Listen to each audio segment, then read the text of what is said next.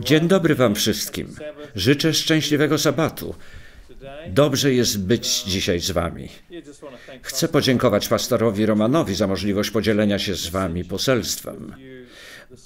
Modlę się, abyście zostali nim pobłogosławieni i zachęceni, ale także poczuli wyzwanie. Dlatego pozwólcie, że podzielę się z Wami teraz moim ekranem. Zanim rozpoczniemy, mam przygotowaną prezentację, którą chciałbym się podzielić. Dzisiejsze poselstwo zatytułowałem, jak to widzicie teraz, Czy jesteś głodny? Nie chodzi o to, czy jedliście dzisiaj śniadanie, czy nie, bo być może jesteście głodni, bo nie zjedliście śniadania. My jednak mówić będziemy dzisiaj o innym rodzaju głodu. Rozpocznijmy jednak modlitwą. Ojcze Niebieski, chcemy podziękować, że możemy dzisiaj przyjść do tronu Twojego łaski. Dziękujemy, że jesteś kochającym i miłosiernym Bogiem. Dziękujemy, że troszczysz się o nasze potrzeby i że jesteś dla nas bliski. Dopomóż nam w tym, abyśmy umieli to dostrzegać i abyśmy Ci ufali. Panie, prosimy, abyś stworzył w nas czyste serce i prawego ducha. Nie odrzucaj nas sprzed Twego oblicza i nie odbieraj nam ducha Twego. Dzisiaj modlimy się o siebie samych, bo tego potrzebujemy. Panie, jesteśmy grzesznikami, potrzebujemy Twego przebaczenia, potrzebujemy oczyszczenia. Dzięki więc, Panie, że będziesz z nami teraz. Błogosław wszystkich, którzy nas słuchają i proszę, abyś przeze mnie przemawiał. Proszę o to w imieniu Jezusa. Amen. Wiele lat temu, gdy studiowałem, aby zostać naukowcem, a chciałem zdobyć tytuł naukowy, zanim udałem się do pracy pastoralnej. Tak więc, gdy studiowałem na uniwersytecie, to jeździłem do mamy i taty, aby pomóc im w ich biznesie piekarniczym. Ale wiecie, w piekarni bywa niebezpiecznie, bo są tam gorące piece, ostre noże, duże kadzie do mieszania ciasta. Niektóre są tak duże, że cały człowiek by się w nich mógł zmieścić. Tak, piekarnie są całkiem niebezpiecznymi miejscami, ale wiecie, co jest najbardziej niebezpieczne w piekarniach? Najbardziej niebezpieczne jest jedzenie. To, co widzicie na ekranie, te wszystkie wypieki, ciasta, ciasteczki, bułki, paje i pączki, świeży biały chleb prosto z pieca jest wspaniały. Czy paje z mięsem, to wszystko jest cudowne. Tak więc mogłem z tego korzystać. Miałem tam więc pełny wybór do jedzenia. Na śniadanie jakieś ciasto, jakąś paję na lunch i jeszcze inną paję na obiad Zjadałem to wszystko, a nie było to zbyt zdrowe dla młodego człowieka. Zdawałem sobie sprawę, że muszę skończyć ze zjadaniem tego śmieciowego jedzenia i zjeść zdrowiej. Potem stałem się także wegetarianinem. To wszystko zrobiłem i dzisiaj czuję się znacznie zdrowszy, gdyż było to wtedy, gdy byłem młodszy. Kiedy już zostałem wegetarianinem, wraz z żoną udaliśmy się w podróż na wakacje do Peru jej ojczystego kraju.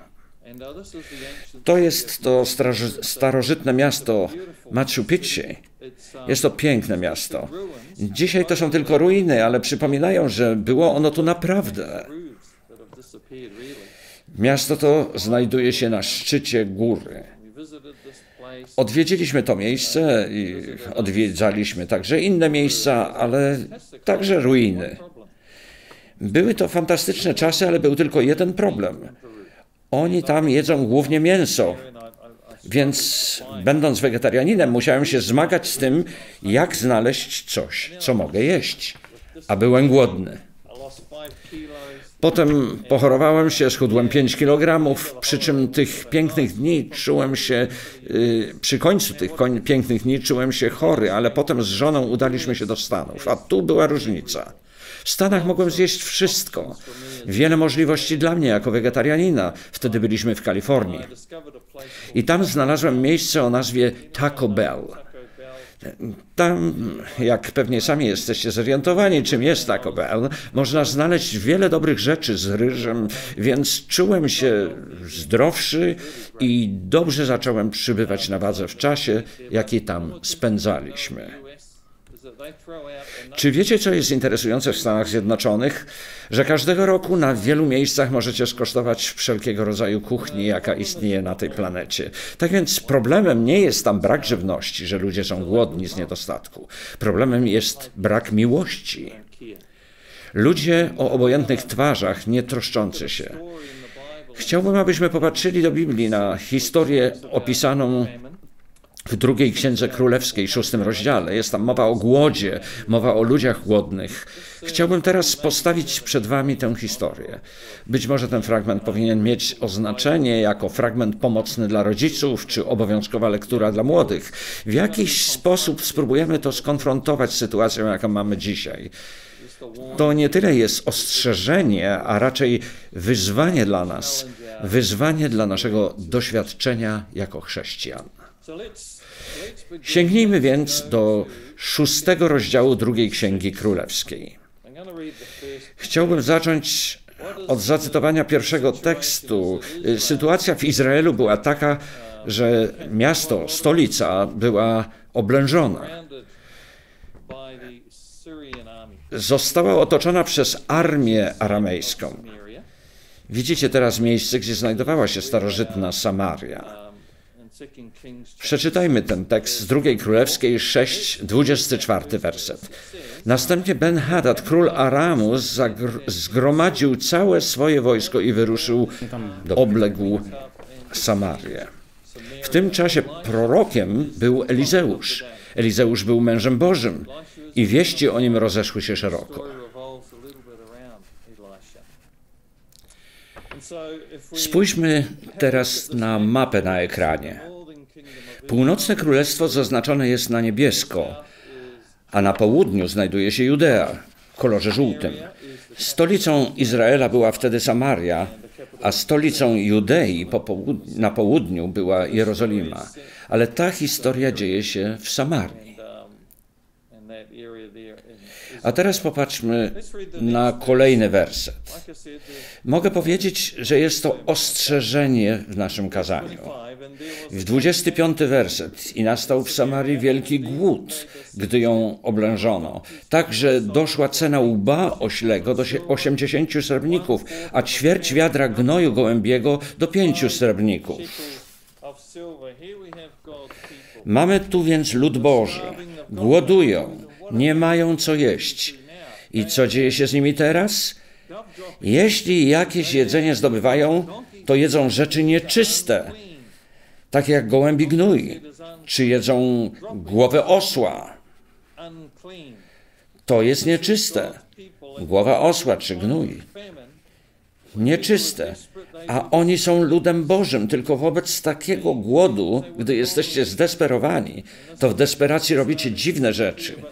Jedzą rzeczy, których normalnie nie jedliby nigdy. Zanim przeczytamy kolejne teksty, popatrzmy, co tu się dzieje. Płacicie pięć szekli za jedną czwartą raba, czyli pół litra gnoju gołębiego.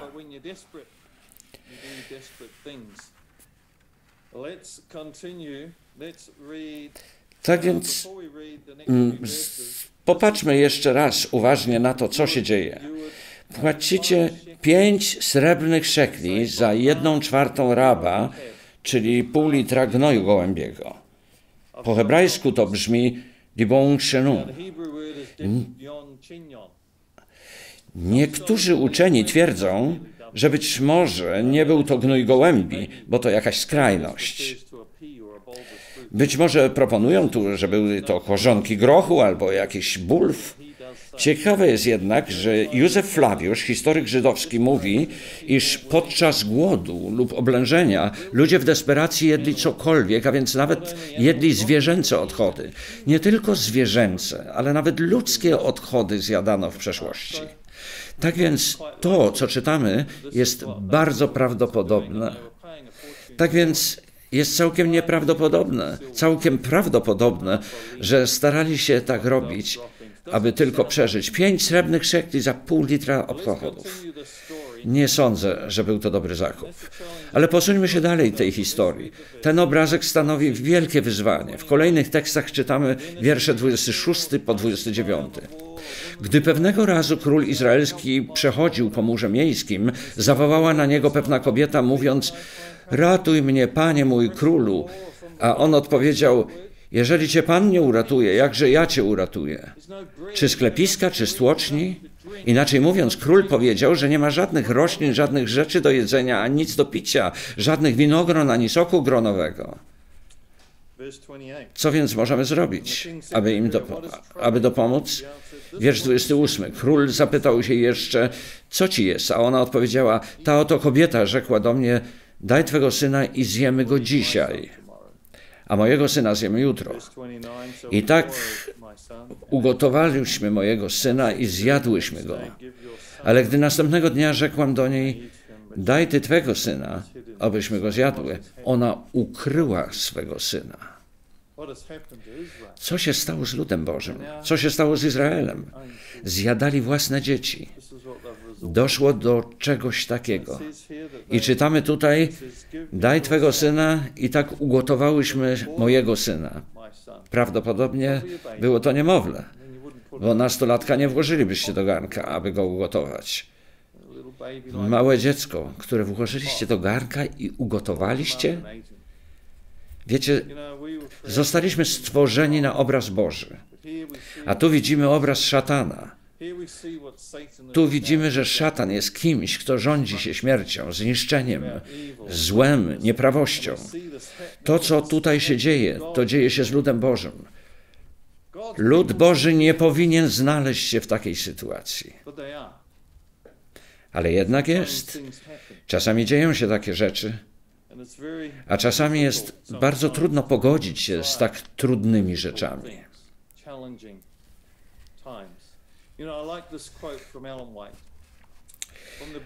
Bardzo lubię taki jeden cytat z Ellen White. Z książki, z książki Działalność Apostołów czytamy: Kiedy kończą się ludzkie możliwości, Bóg znajduje okazję do działania. Koniec ludzkich możliwości i Boże możliwości. Gdy u nas jest najgorzej, dla Boga może być to najlepsza okazja. Gdy my znajdujemy się na samym dole, Bóg jest gotowy nas wywyższyć. Co się więc dzieje? Popatrzmy. W tym wszystkim pojawia się teraz prorok Elizeusz.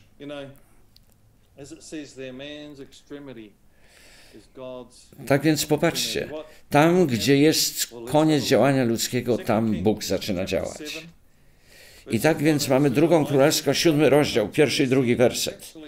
Teraz tym wszystkim pojawia się prorok Elizeusz. Faktycznie znajduje się w pewnym kłopocie, bo król ma wątpliwości, co ma robić. Czy lepiej Boga opuścić? Czytamy więc, co prorok mówi. Słuchajcie słowa pańskiego. Tak mówi Pan. Jutro o tym czasie miara przedniej mąki będzie za jednego cykla, a dwie miary jęczmienia również za jednego cykla w bramie Samarii. Wiecie, dzisiaj ludzie cierpią głód, że nawet gotowi są jeść odchody zwierzęce, by łby osła, czy nawet własne dzieci. Ale na jutro jest obietnica pożywienia, obietnica mąki i jęczmienia.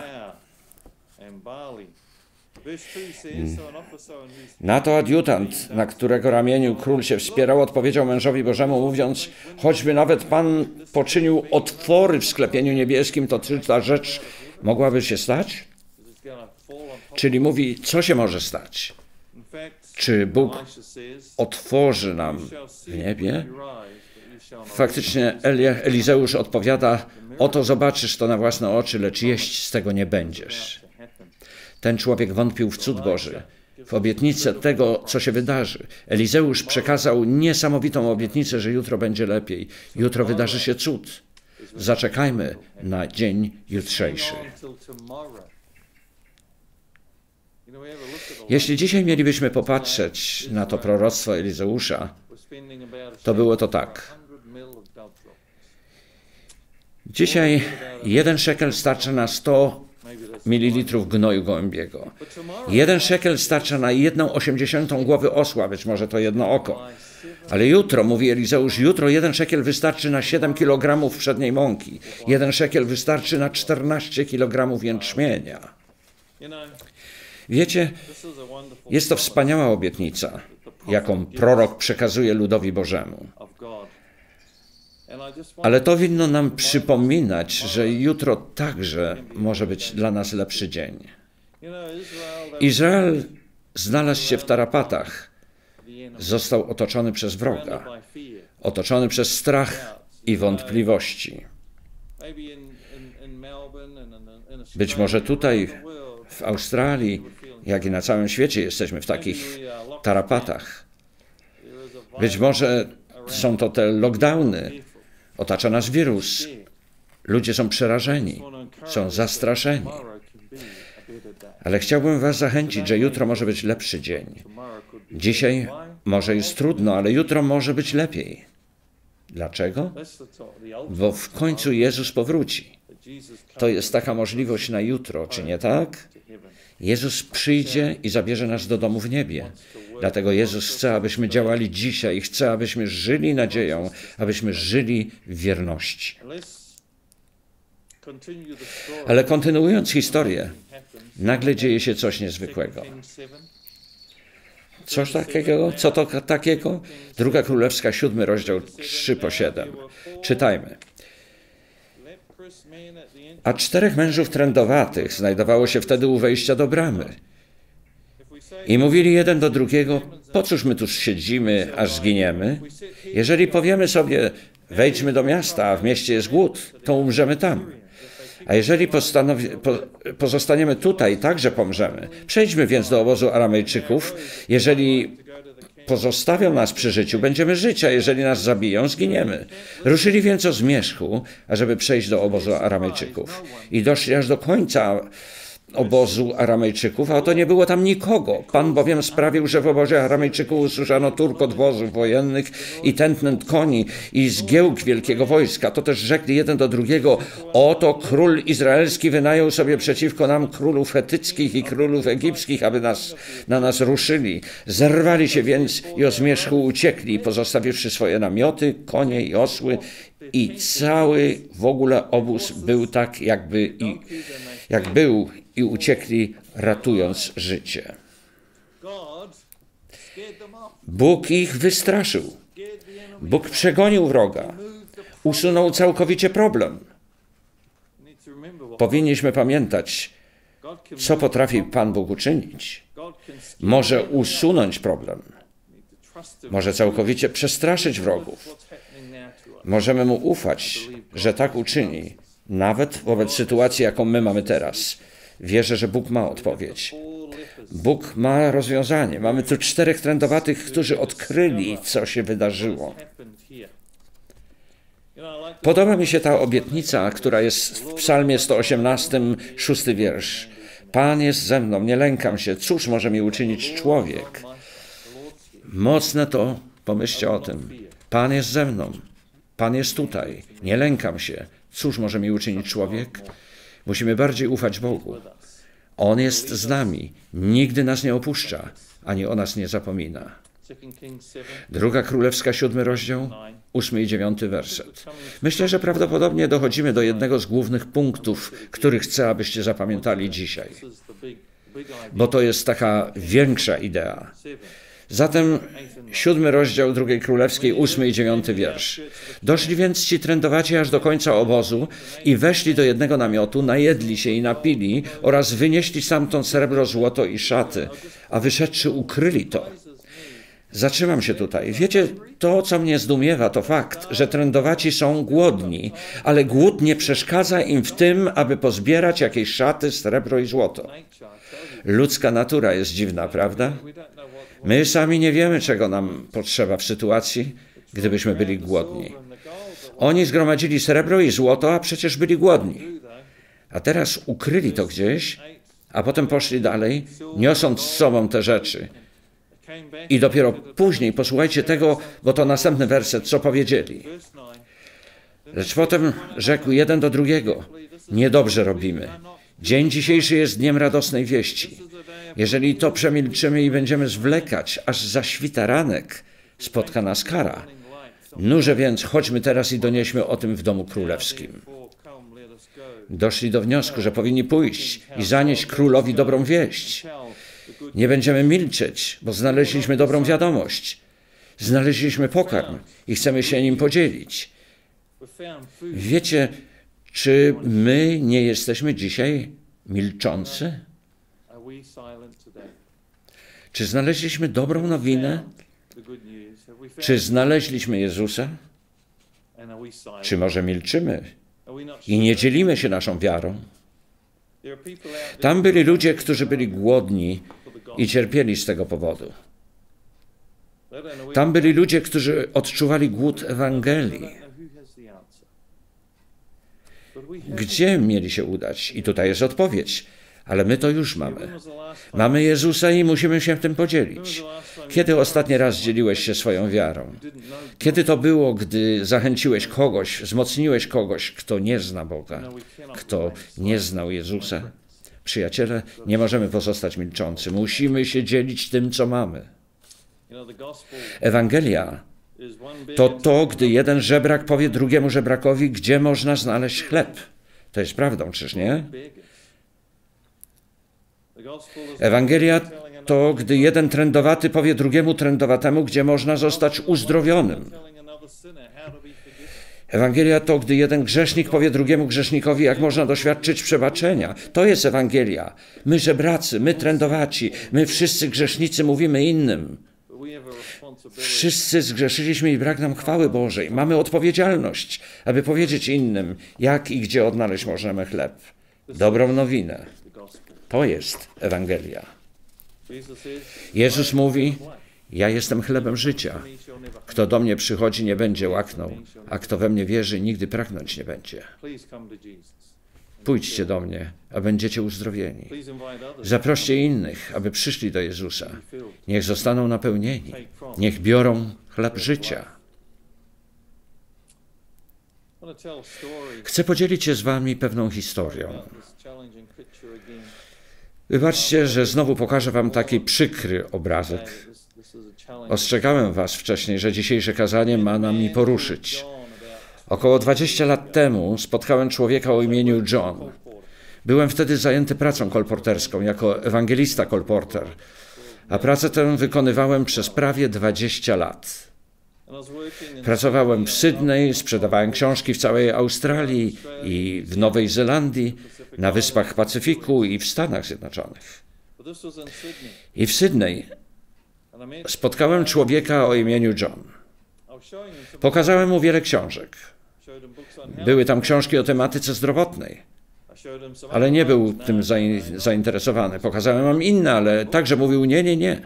Wtedy pokazałem książki, książki religijne, między innymi Wielki Bój, Drogę do Chrystusa, ale nie, nie, nie, jestem, nie jestem tym zainteresowany. Zaoferowałem mu bezpłatny miesięcznik Znaki Czasu, ale i tym nie był zainteresowany.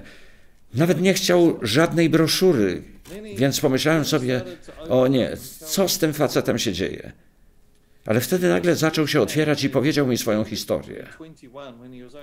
Ten człowiek mówił, że gdy miał 21 lat, a miał faktycznie wtedy dopiero 18, chciał pojechać i walczyć na wojnie, więc musiał zrobić się starszym. Była to druga wojna światowa. Ale na wojnie stał się więźniem wojennym. I to było daleko stąd. Było to podczas II wojny światowej, ale chciał bardzo zostać, dostać się na front, więc został wysłany na Bliski Wschód. Jednak gdy wyruszył, jego statek rozbił się i tym sposobem znalazł się na terenie Singapuru. Ponieważ pojawili się tam także Japończycy i tam na jednej wyspie John został wzięty do niewoli. On faktycznie uczestniczył w budowie bardzo znanego mostu, mostu na rzece Kwai. Wiecie, że to taki bardzo znany most, o nim nawet nakręcono film, a także książka jest na ten temat. On więc pomagał budować ten most.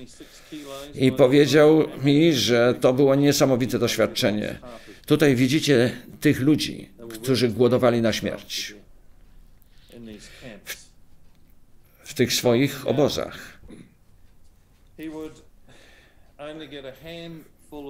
Wcześniej ważył 76 kg, a w końcu spadł na wadze do 38 kg, gdy mógł stamtąd odejść. Pracowali i umierali tam z głodu w swoich inieckich obozach.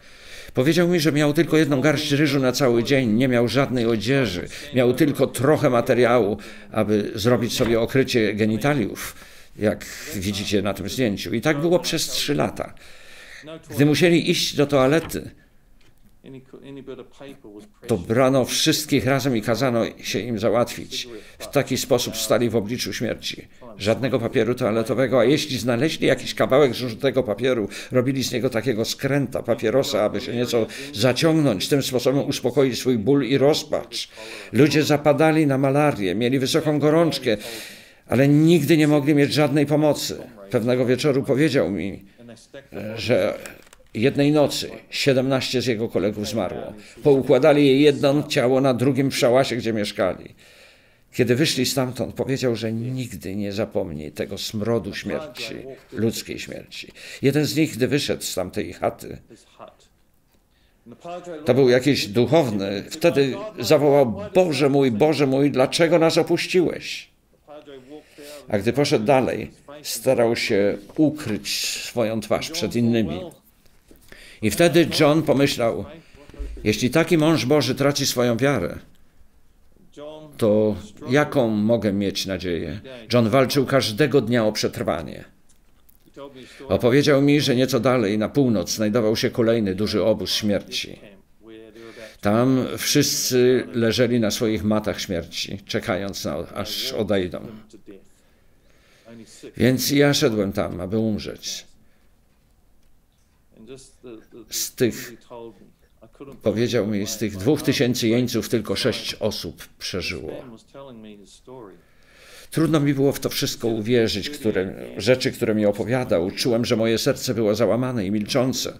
Gdy ten człowiek opowiadał mi swoją historię, powiedział, że trzeba było kolejnych 38 lat, aby jego żołądek zaczął na nowo pracować normalnie.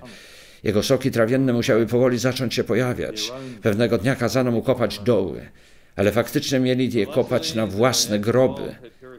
Ale w końcu, po spuszczeniu bomby na Hiroshimę, ludzie ci zostali uratowani, a wśród nich John także. Pomyślałem wtedy, skoro ten człowiek tak wiele przeżył, jaką książkę mogę mu zaoferować? I wtedy przypomniałem sobie, że mam jedną książkę zatytułowaną Twoja Biblia i Ty lub Dziś, jutro i ty. I jeszcze książka Nicholsa, Ostatni świat w ogniu. Ona mówi, że wszystkie próby zjednoczenia świata i tak spełzną na niczym. Po Rzymie. Rzym będzie ostatnim światowym mocarstwem. Nie będzie zjednoczenia świata. I wtedy opowiedziałem Janowi o proroctwie Daniela.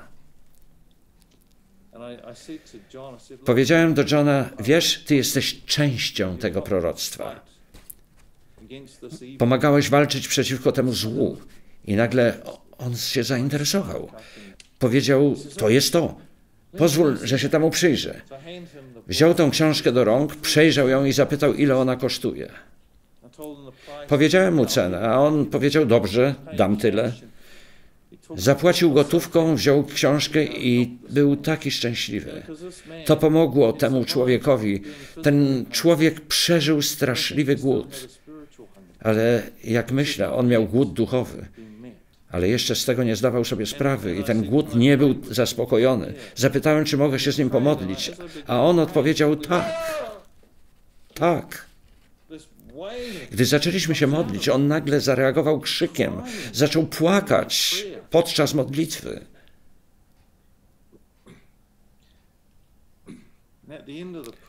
Przy końcu modlitwy Mogłem zauważyć, jak łzy płynęły po jego twarzy. Podziękował mi za przyjście i za książkę, a ja odszedłem wielbiąc Boga. Ten człowiek został nakarmiony duchowo. Być może oddał swoje życie Bogu. Zacząłem wielbić Boga za prowadzenie mnie tamtego dnia do tego człowieka. Kiedy on zaczął tak krzyczeć podczas modlitwy, było to oczywiste, że ten człowiek był głodny.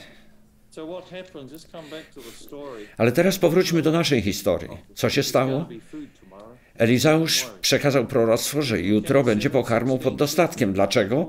W drugiej królewskiej 7:16 czytamy, że wtedy lud wypadł i splądrował obóz Aramejczyków i była miara przedniej mąki za sykla i dwie miary jęczmienia za sykle według słowa Pana.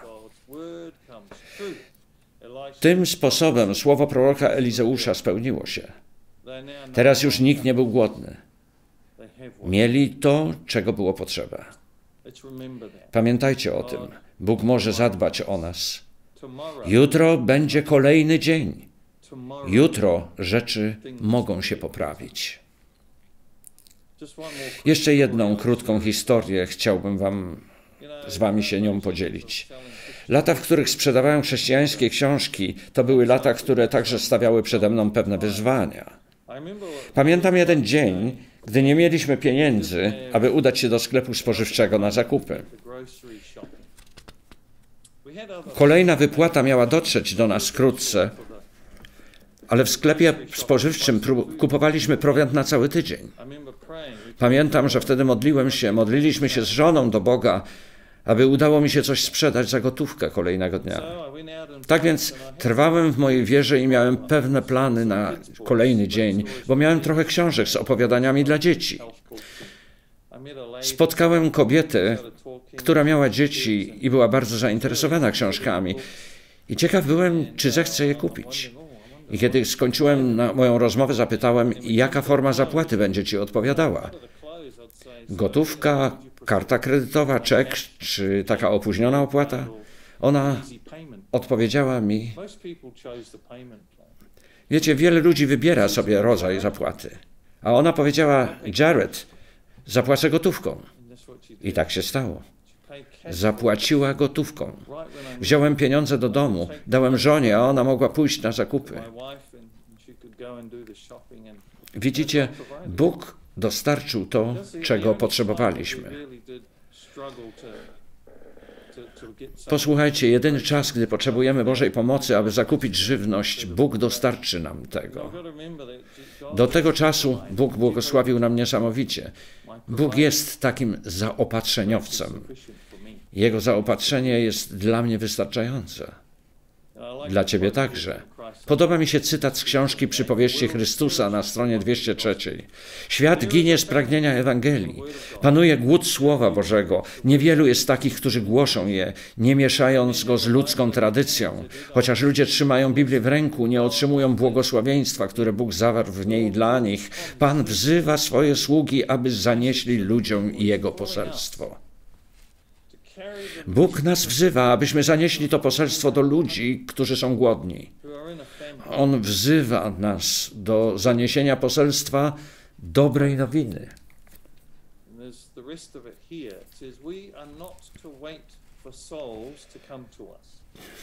Jeszcze jest dalszy ciąg tego cytatu. Nie powinniśmy czekać, aż ludzie przyjdą do nas. Musimy szukać ich tam, gdzie, je, gdzie się znajdują. Głoszenie słowa z zakazalnicy to zaledwie początek pracy. Inaczej mówiąc, to dzisiejsze kazanie jest tylko początkiem.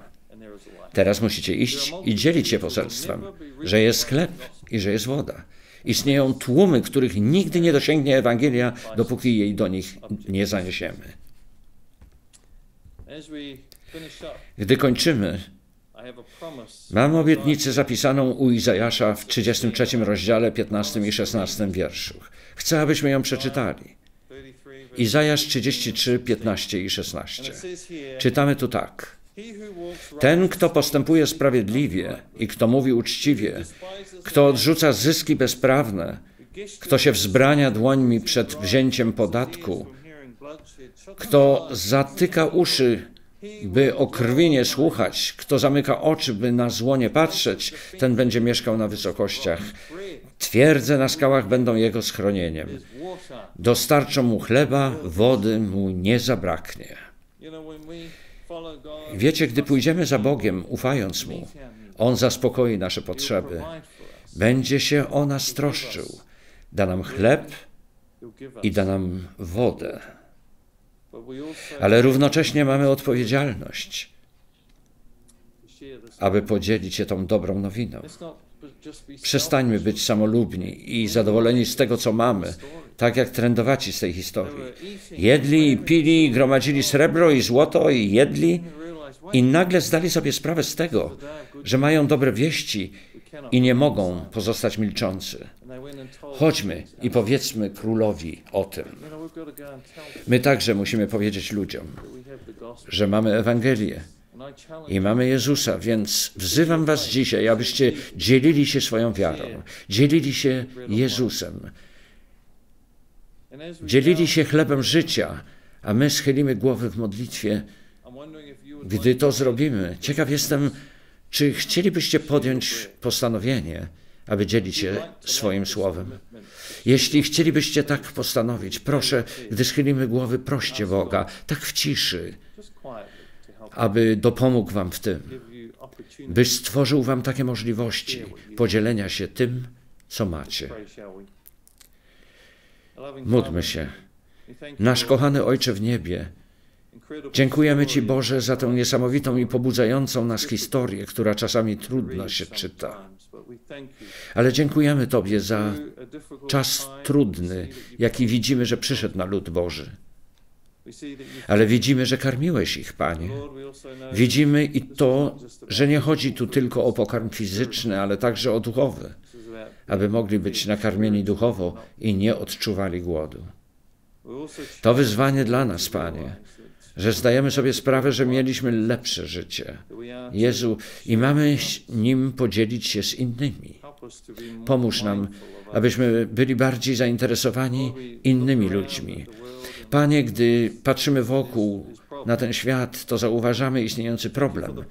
Ale dzięki za obietnicę z objawienia 21:4, że Bóg otrze wszelką łzę z oczu ich, że nie będzie więcej śmierci, ani smutku, ani krzyku, ani mozołu. Bo pierwsze rzeczy przeminęły. I dzięki, Panie, za obietnicę, że wkrótce powrócisz i nie będzie już więcej takich problemów. Dopomóż nam pozostać wiernymi i patrzeć w przyszłość, na jutro, jakich cudów dokonasz dla nas. Dzięki, Panie, za podanie nam takiego poselstwa. Modlę się w imieniu Jezusa. Amen. Cały czas dzieliłem się z Wami moim ekranem, ale teraz mam nadzieję, że zostaniecie pobłogosławieni i poczuliście wezwanie. Miejcie się dobrze. Niech Wam Pan błogosławi.